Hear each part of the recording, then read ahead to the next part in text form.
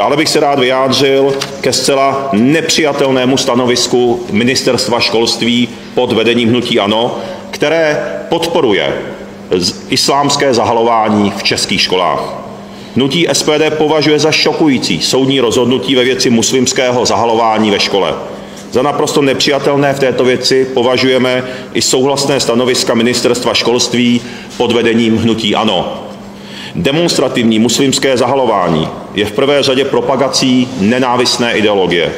Hnutí SPD již předložilo zákon, který propagaci takových ideologií zakazuje, a také zákon zakazující muslimské zahalování. Zákon jsme vytvořili po vzoru Rakouska a Dánska, kde již tento zákon platí. Zákony, tyto potřebné zákony z SPD nám ale bohužel vláda hnutí ANO, ČSSD a KSČM blokuje. Ale naše hnutí bude trvat na jejich prosazení.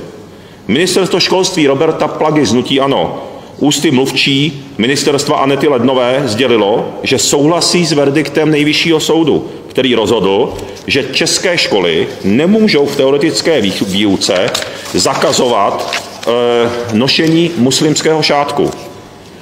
Podle nás, podle SPD, je věcí školy, jak si nastaví pravidla, které žák musí respektovat.